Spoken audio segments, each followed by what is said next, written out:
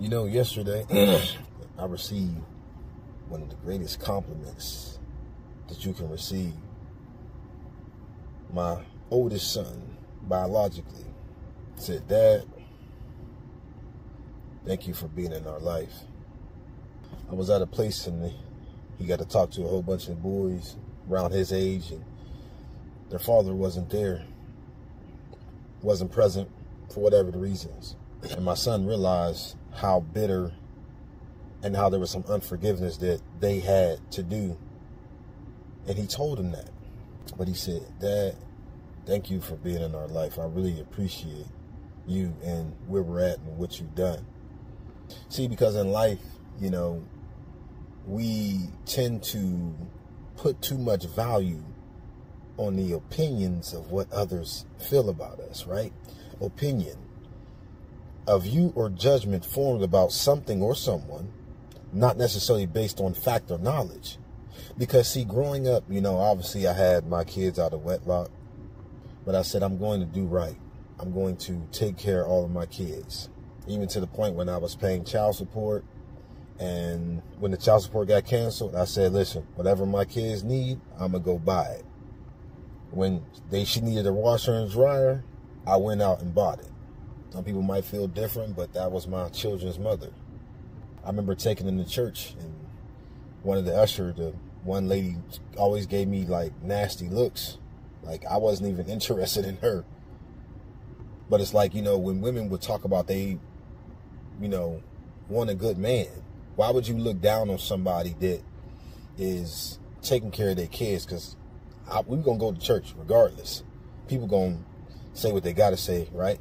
And you have to understand that some people's point of view is distorted. The definition of distorted, pulled or twisted out of shape, or says giving a misleading or false account or impression, misrepresented. So sometimes their point of view is distorted. And that's okay. I remember, you know, as a disc jockey, sometimes I didn't have a babysitter. So I had to bring my kids, you know, uh, DJing you know, graduation parties and you know, some people would be like, "Man, you shouldn't bring your kids." And I sometimes I I couldn't have a, I couldn't get a babysitter. What was I supposed to do? They wasn't bothering nobody. Many of y'all know if y'all know me from my old hometown in Furrow, like I had a TV, the video game was there, and my kids was was not around. Like as far as out running around and stuff like that. But I want y'all to know something. Matthew 12 and 36 amplified. But I tell you, on the day of judgment, people will have to give an accounting for every careless or useless word they speak. Let folk talk. Let folk do what they do. See, I used to try to vindicate myself, and I had to realize that it wasn't my job to do that, that it was God's job. Did you hear what I said? It's God's job to vindicate you. See, I used to try to vindicate myself by saying this, sometimes wanting to give my side of the story. Let, let pe- people gonna think whatever they want to think regardless. Sometimes their minds is already made up. And we, sometimes I've noticed sometimes, you know, this is not all churches, but I've noticed that they don't teach this whole scripture, right? We just know Isaiah 54, 17, no weapon formed against you shall prosper. That's it. What does the rest of the verse says? And every tongue not some, but every tongue which rises against you in judgment, you shall condemn. Right? God's going to do the condemning. This is the heritage of the servants of the Lord, and their righteousness, watch this, or vindication is through me, says the Lord. Vindication, the action of clearing someone of blame or suspicion. Proof that someone or something is right, reasonable, or justified. See, I had to realize that folks is going to say whatever they want to say, but John 8 32, it says, And you shall know the truth, and the truth shall make you free, not set. Some translations say set. We ain't going to get on that right now because I'll break that down. But made free, make you free. Because if you set something somewhere, right, you can set something else somewhere else. And here's what I realized that words only have power if we give them power. The person can call you whatever they want to call you, but it's not going to hurt unless you give it power. Proverbs 23 and 7, it says, For as he thinks in his heart, so is he. Eat and drink, he says to you. Uh, that's why I say you can never, you have, excuse me, you have to believe in yourself. That's why I tell people, go be great. Because we know death and life is in the power of the tongue, and those who love its love it will eat its fruit, right? Proverbs 18 and 21. Why would you eat what somebody called you? Some of y'all right now are probably still dealing with some things people have called y'all from years ago. It ain't what they call you, it's what you answer to. It ain't what they call you, it's what you believe about yourself. The word says in Psalms 139, 14 that I am fearfully and wonderfully made. Marvelous are his works. No, I can't go back and take my kids back, and I would never do that. But at that point, I had to man up and, and take care of them.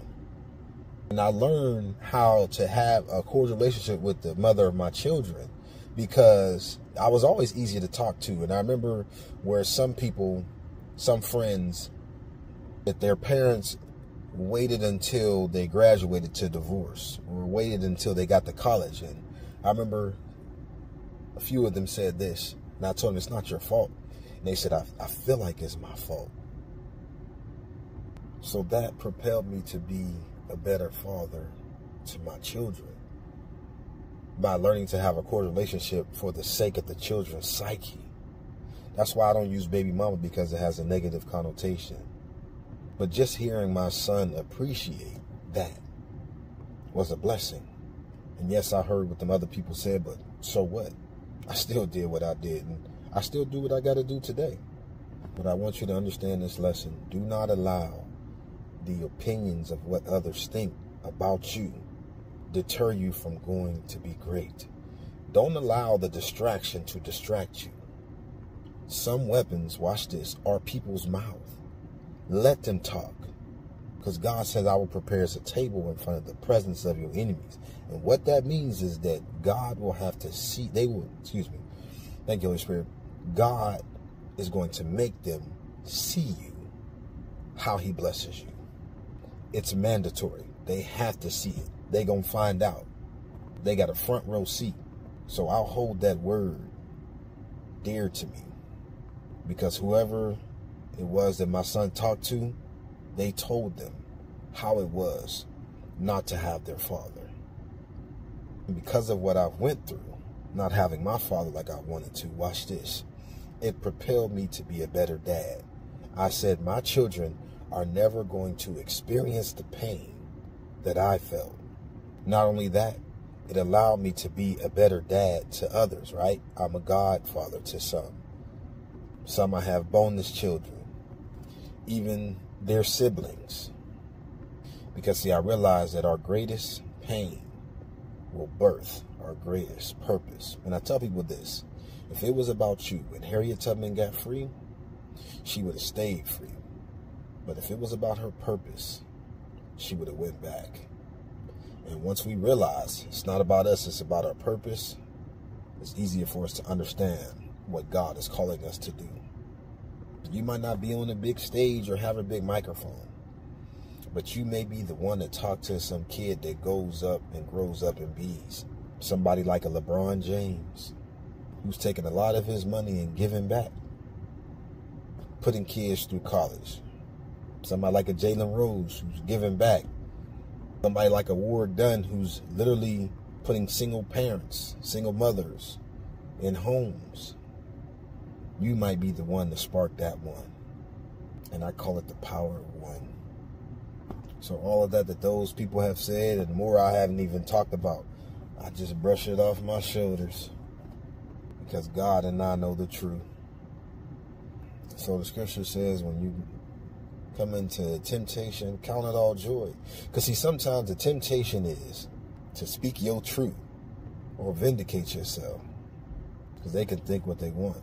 Luke 23 and 34, Jesus said this while on the cross Father, forgive them, for they know not what they do.